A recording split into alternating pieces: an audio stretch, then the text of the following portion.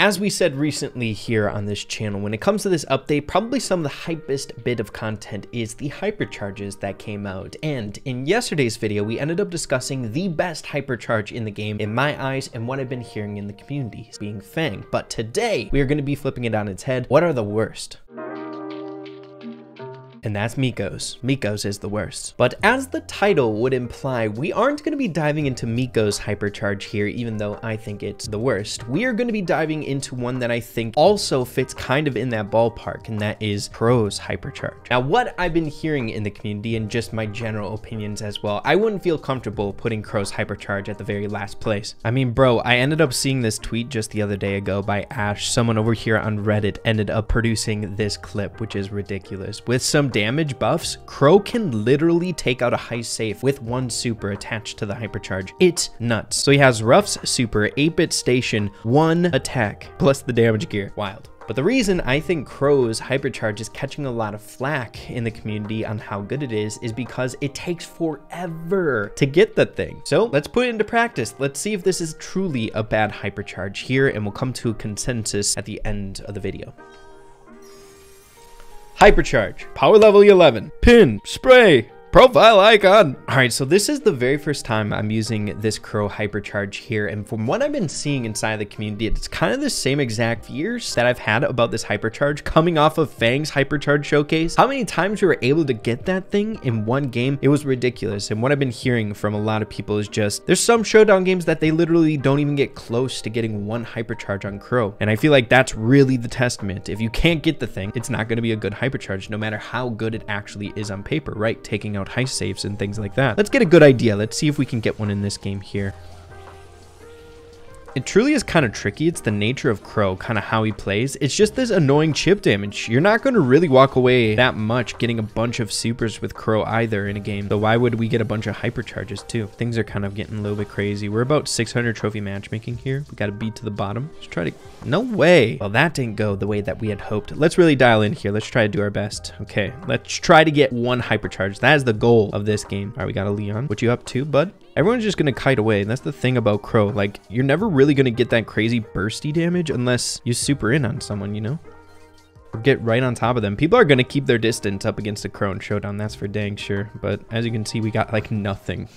this Leon's trying to get something too. Does he have Hypercharge? Yeah, he does. We got a Bibi. Hey, we got some health here to work with. I want this hypercharge, Mr. B. Mrs. B, excuse me. We got a tanky Bibi. This is the perfect, perfect opportunity to get some hypercharge going here.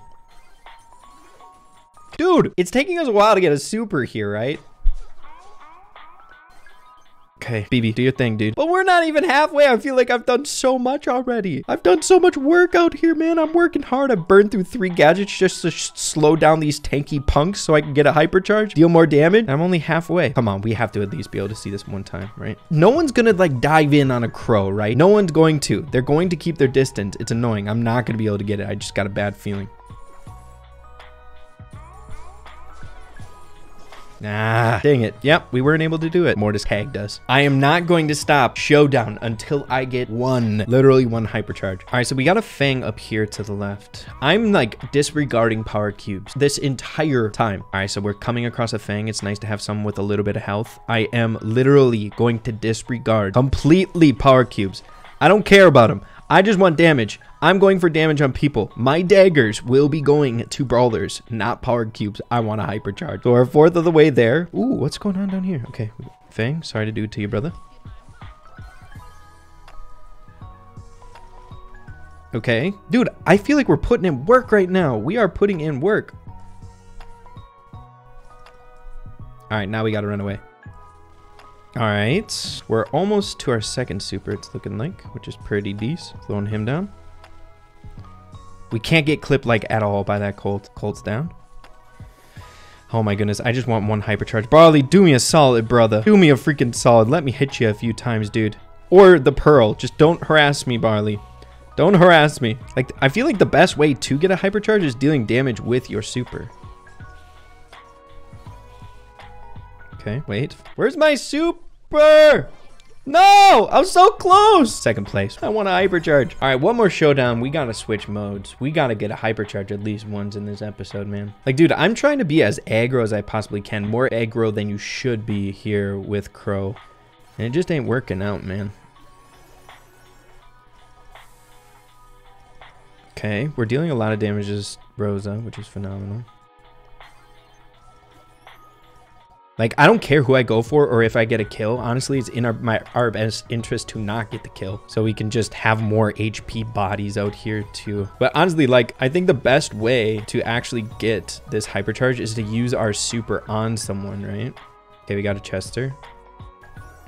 Nice. Okay, how many shots have we been... I ain't losing this. I ain't losing this. How many shots have we tagged these people on? Like, how many basic attacks did I use against that Rosa? And we are going to be getting one here shortly, but we don't have a super to accompany it. Oh my gosh. Dude, I'm starting to feel like hypercharges are really good on brawlers that can get a lot of hypercharges, right? A lot of super cycling. And that is literally Edgar and Fang, right? The two. They can get their super so often. But here, like with these chip damage brawlers, it's impossible. And especially like a brawler like Crow. By nature, they're just going to play like this. Uh, people against you. They're not going to come to you. Oh my gosh. Is the Chester trying to team with the Fang? Nice. Okay, we got him. I'm going to pinch from the bottom here. One super is all I ask.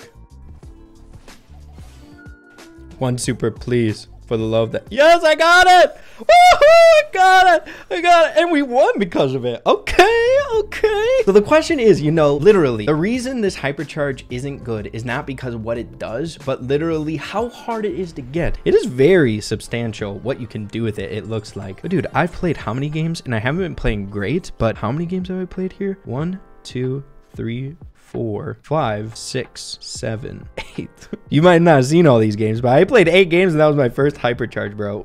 like I promise you, the way that game modes are structured nowadays, at least like you have Wipeout. Wipeout's games go so fast. You're not going to get a Crow hypercharge unless you're doing the most in that game. It's going to be really, really challenging. Why not try to get it in Wipeout, hey? Let's try. I can promise you we would be here all freaking day and we wouldn't get it here in this game mode on this map specifically as well because they're just going to be doing this long range chip damage. We'll be lucky to get a freaking super on my boy Crow in this game, but we're up against a Colt, a Carl, and a Colette. Nice. Okay, we're doing something here.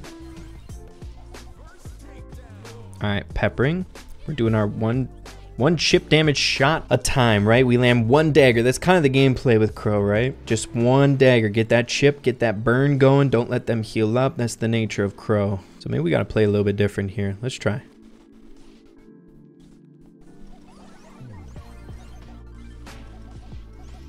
Okay, we're sweating out here now. Nice. Ah! Okay. We got to wiggle if we want to get this hypercharge. Like, I don't care if we die. We got to get in there if we want to hypercharge here. Am I to eat my words? Maybe this map is something like a wipeout map that you would be able to get the hypercharge on because it's going to be a long game. But I'm just thinking of all the bad randoms, you know? All those freaking randoms that go in and die right away, which we are that random, but I'm sorry. We need the hypercharge here.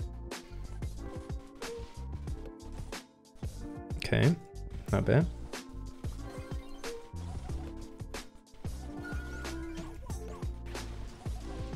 All right, we're close to a hypercharge, guys. The game isn't even halfway over. What? What is my problem? Why did I think this would be incredibly hard? But I'm guessing we're only going to have time for one hypercharge here during this match, which, you know, a great hypercharge, functioning hypercharge, like what it actually does, like Crows, can be the difference in a match.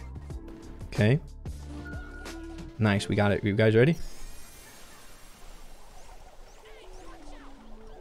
Oh my goodness, we tanked like crazy. Got two kills out of it. Sorry I went into focus mode, but you know, that wasn't that bad. If we can get one a game, I guess that's D's. But my goodness, you showdown mains out there, I'm sorry for you. It's gonna be hard. It's gonna be very hard. But we got one there, barely. And I was playing like stupidly aggro, right? We died four times to try to get that hypercharge. So most Crow gameplay on that map, especially at high trophy ranges, is just gonna be that chip damage at the very back, right? Just slowly whittling away and being annoying. Let's give this a go in Heist. Basically, what you would imagine being OP on this guy, right? The clips. So let's see if we can kind of recreate it. We're up against a Miko, Dyna, and a Nita. Oh boy, I don't know how this is gonna go. The Mikos are kind of terrorizing these low health brawlers like Crow. I got a feeling we're gonna die quite a bit, but let's get it. We got some bushes to help us out. Oh, never mind. Mr. Dyna holding the stun. Nice. Focused. We are focused, locked and loaded. I just don't want to, like, Nita's not going to do anything to your heist save. Okay, I just don't want to give up the super because I actually want this to do something in this game mode, a hypercharge. Okay, he's gonna get us. I'm dead focused right now. This ain't looking too bad. We're definitely gonna get a hypercharge. Okay, let's go. 75 to 74. All right, we're gonna need some assistance on this Nita bear. Bro, guys, help. Oh my gosh. Okay, we're here. You guys ready? Nice. Oh my gosh. What the frick? I feel like it's just been bad in Showdown. It's not that bad in 3v3s. I mean, that game was really, really slow. Like a fantastic team comp going up against them, they're going to make the games way, way faster and more competitive. It's not bad. It might not be the most fun hypercharge because you're only getting basically one a match, right? You're only going to get one a match on a somewhat decently long match, but it's still decent. Like you get that hypercharge, you get to the safe, you're dealing a crap ton of damage, man. So in conclusion here with what I've been able to see, I feel like in a game mode like Showdown, it's not going to be fantastic. I feel like you're not going to get it a whole lot, and it's not going to be incredibly meaningful in a game mode like Showdown, seeing that you're only really going to go in for one kill, right? You're jumping on one thing. But in 3v3s, you know, in Wipeout as well as Heist, it wasn't too bad. We got it once in Wipeout. If we play better, maybe a second time, I doubt it. It's probably only going to be one. But then in Heist, that is like game breaking. If you get one, you're dealing a lot, a lot of damage. So in consensus, the Crow Hypercharge, I won't